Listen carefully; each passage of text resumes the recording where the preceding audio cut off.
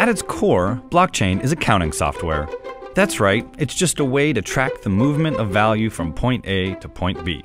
But what sets it apart from old fashioned double ledger accounting is there's no need for a trusted central third party to audit the transactions and assure everything is in the right place.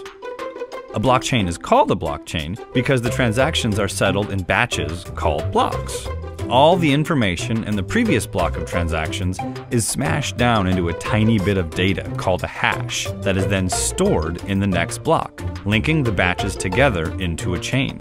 But how do we know a Bitcoin has left one location, called a wallet, and gone to another location?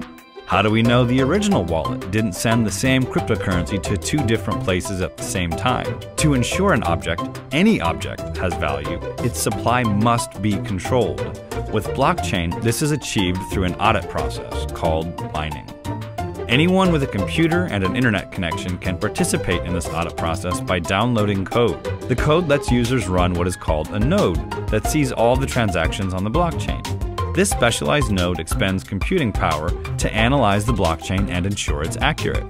These nodes compete against each other to solve the problem, and in exchange for their work, have the chance to be rewarded with Bitcoin. To move cryptocurrency on a blockchain, you have to have what is called a private key.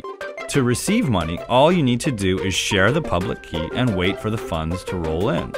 Every time a block of transactions is settled, the funds move to the new location.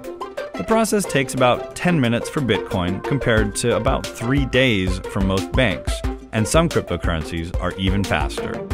With 30 million Bitcoin wallets alone in existence and 8 billion people on Earth, cryptocurrency has the power to become a true global currency and change finance forever.